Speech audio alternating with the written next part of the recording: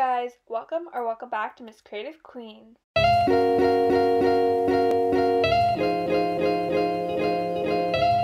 you have not already subscribed, make sure to subscribe and click the bell icon so that you can get notified of every video I post.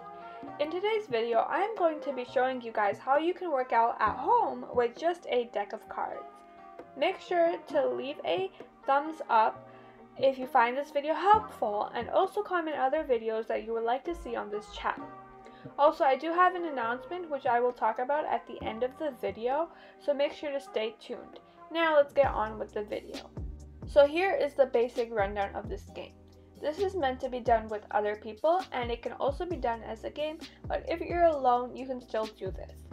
Basically, you have your deck of cards with 52 cards, and you're going to put them all face down in a pile. If you have 2 to 4 people, 54 cards is enough, but if you have more people, you may need to buy another deck. First, you're going to run and take a lap. Once you take your lap, you're going to pick up a card. Each card represents a different exercise and number of exercises. So you're going to do your exercise, put your card aside, go take a lap, and then repeat. You're going to do this until all your cards are finished. Now let's break it down step by step. Before even starting the game, you have to place the cards face down in a round pile as you can see what I'm doing so that you can grab any random card.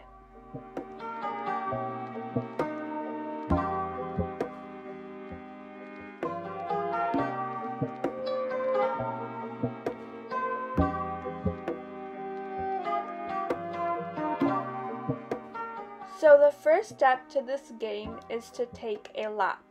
You can choose any part of your house. For me, I run all the way to my front door and back, but you can go up and down your stairs or whatever else works for you.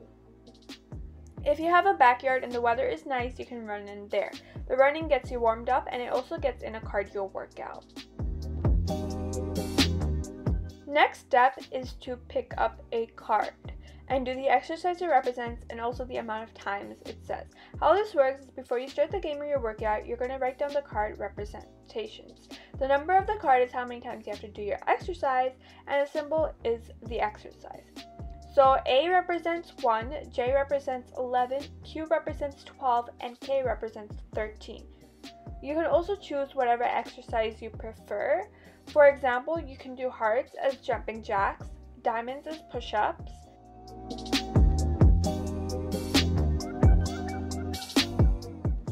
Spades as squats and clubs as sit ups.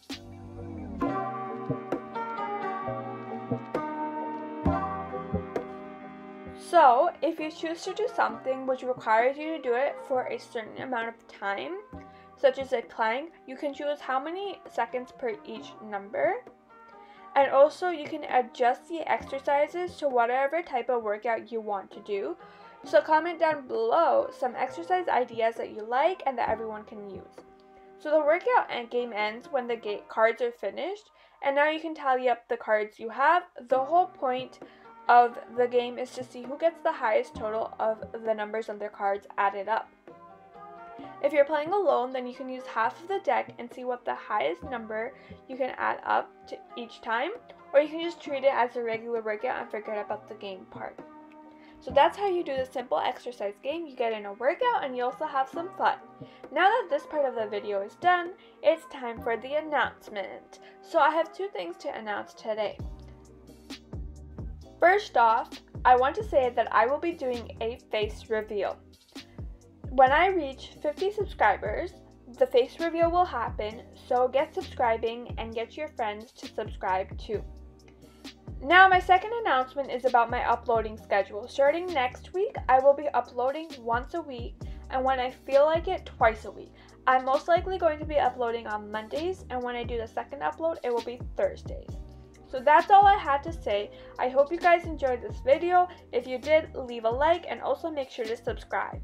Anyways, I'll see you guys in my next video. Bye!